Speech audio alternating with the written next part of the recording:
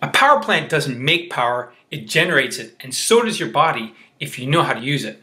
The business you build and the life you live is going to be powered by the quality of your health and fitness. It's going to be powered by the energy you generate with your health and fitness practices. You might be concerned about COVID-15, that's putting on 15 pounds, but you don't have to be. I have the LeFave 15, which you can use to stay fit with only 15 minutes a day. Point, point number one what happens when you exercise? Your mind becomes sharper. Just think about it this way when you come to work and you haven't exercised, you're lethargic. Sometimes it takes an hour or two before you even get into the flow of doing things, right? When you exercise prior to coming to work, your mind is sharper right off the bat. And you just kind of want to get into it. You're in the flow of things. You're going, you're moving, you're coming up with better ideas, better ways of, you know, having this thing advance to the next level. What if we do this? What if we do that? What if we do this? Everything does better because your mind is sharper. Point number two, which is an extension of point number one. Problem solving. You become a better problem solver. Problem solving requires point number three, which is energy. If you don't have energy, you can't solve problems. Why? Because, so think about it this way if you're in a room, in a boardroom, everybody's going back and forth trying to solve problems, and you see everybody do this one signal. Let me tell you what the signal is. This is the signal. You ready? This is the signal of somebody saying, we should just figure something out and leave the boardroom. This is how it looks like. You know what the signal is? What is the signal? I want to go home, right? The signals, I want to finish this meeting here. We should already wrap up.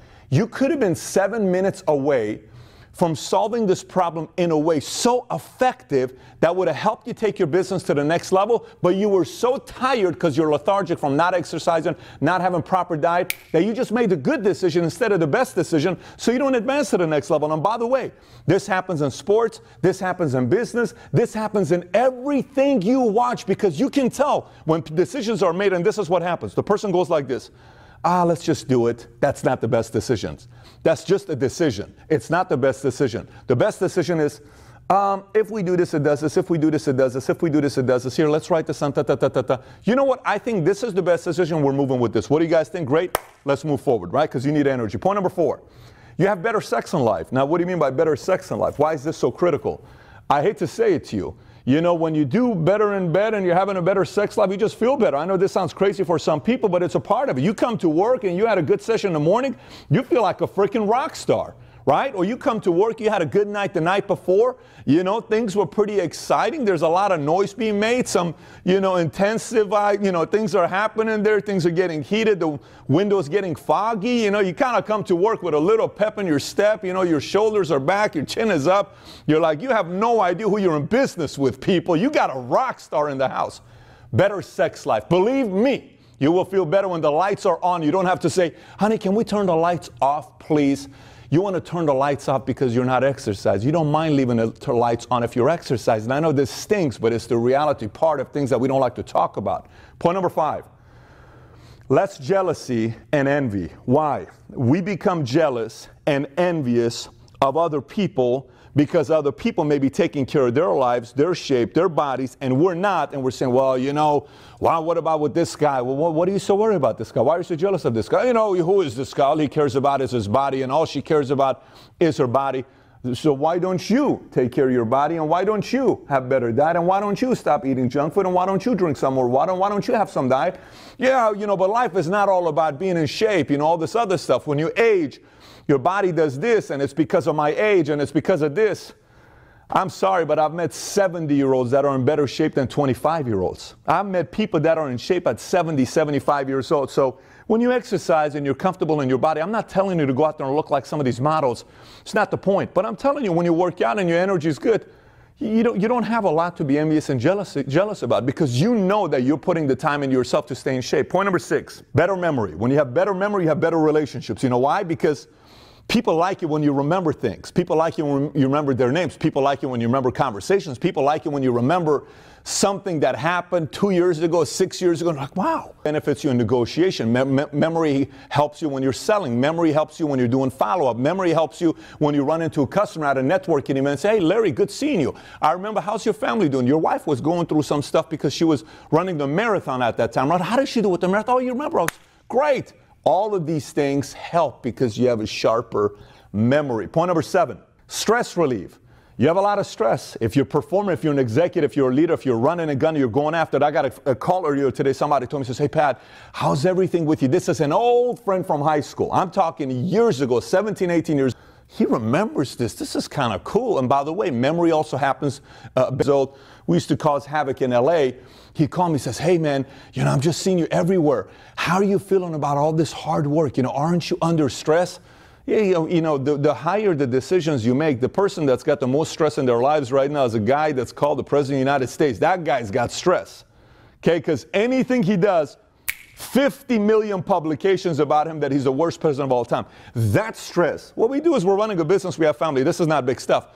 There's got to be a release. An exercise and helps you have a release of that stress. You sleep better, which is the next point. Sleeping better helps you perform better, meaning when you go home at night, how do you sleep? Do you ever complain about the fact that, you know, I just, I don't know why I have a hard time sleeping at night. I just don't sleep very good at night. I wake up two or three, four different times. Well, guess what? Have you ever gone home because you had such a crazy, hardworking day that you would have slept in your car? Like, have you ever fallen asleep in, in your car going home? Why is that? You worked your tail off, right? When you get home. So, what if you exercise, you really gave everything that day, you go home, you spend a little bit of time with your kids, your family, whatever you're doing, and then you hit the sack, two minutes, you're gone. Well, you sleep better. Why do you sleep better? You're heavier. You, you sleep heavier. You're deeper thoughts. Why? Because you worked out that and your body needs rest. So your body says, I've worked out today. I have work today. Guess what time it is, Pat? What time? We need to sleep. Shut it down. Boom, you go to sleep, right? So you sleep better when you exercise. Point number nine longevity. You last longer in business, which means your value in the marketplace is higher. Let me explain to you what I mean by this. This has got nothing to do with your age. I see 27 year olds that are 300 pounds, 5'10, that will have a shorter lifespan of effectiveness in the corporate world or business than I see a guy that's 53 years old who runs 20 miles every week. He is 5'10, 160 pounds. That person's longevity in business is higher than the 27 year old because the 27 year old is walking around like this. And that is not good for your health. And it's not good for valuation of your lifetime of the amount of money you're going to be making. So we got to figure out a way to have your longevity and life be higher. And believe me, this is not an easy conversation to have with anybody. Some of you are watching this, right? I probably lost a lot of viewers in today's episode. But if you're still here with us, guess what? More power to you for having the courage to listen to these types of difficult conversations that none of us want to have. Believe me, last year, year and a half ago, I was so casual with my body, I went to 257 pounds. I dropped 27 pounds and I kept it. I stayed at 230 because that's my body weight for, for being 6'4. Longevity, your value goes higher the longer you can last. Point number 10 you become more attractive. Now, what do I mean by more attractive? Sometimes being more attractive is smiling. You know, it, it, it's amazing. So a guy can go from looking like a five to a seven the moment he smiles, right? You got a smile on your face, you're just more attractive. And you smile more the more you exercise because your body's moving, you feel better, right? So you become more attractive. People want to be around more attractive people. People want to do business with more attractive people. People want to refer more attractive people. You become attractive. It helps in your business. You know, I often get asked how I stay so fit and lean. I'm 49 years old and I'm 20% body fat and I don't do very much. I do about 15 minutes of practice every day and that's it. So this is Deconstructing Life with Dan and I'm going to tell you how I deconstructed my fitness practice so that I stay fit and lean and I don't have to work so hard. So you might have noticed that around the world there's a lot of people who are quite heavy today. Uh, maybe obesity is is the word to use, but you know I don't want to name things. But here's the thing: we have so many people that are so heavy, and why is that? And I think it's because we are eating to feel good. You know, we are using our our taste buds to make us feel good. So we're a sense slave. We're a slave to our senses, our taste buds, and uh, so, you know, so that's that's an issue today. And the way I've overcome that is I do intermittent fasting. I don't eat a breakfast, lunch, and a dinner, and I eat very little, and I use small plates, so I do a lot of little practices like that. But uh, what I really want to share with you here today is the fitness practice that I do. It's very, very simple. In fact, like I said, it's only about 10 to 15 minutes long, but it's every day. So it's just a little bit. And you know, it's interesting. I used to teach spinning. I used to run marathons and do months and months of training. But today, all I do is a short little practice, but every day, and it adds up. So here's here's the uh, the trick. Instead of doing what I was doing, which was going to the gym and doing you know 45 minutes of cardio and and doing all sorts of weights and so on, I just do a little bit every day. And all I do is a little bit of cardio. There's something called Tabata, T A B A T A, and it's Japanese research that shows that if you do just four minutes of interval training, so it's 20 seconds of high intensity, 10 seconds of low, and it's, it's whatever you like, but you know, you could run on the spot or run outside or go on a bike or a piece of equipment, but it's something you can do very easily in your home. And that's what I do. So it's just a daily practice. So I warm up for about five minutes and then I do four minutes to about nine minutes. I finish my cardio for the day. And then I have a yoga mat and I do about 10 to 15 minutes of yoga and I finished my that's my weights. I, I do some weight bearing stuff on the yoga mat plus flexibility. So this is the practice that I'm doing every day and it's quite simple, quite easy, and it's doable.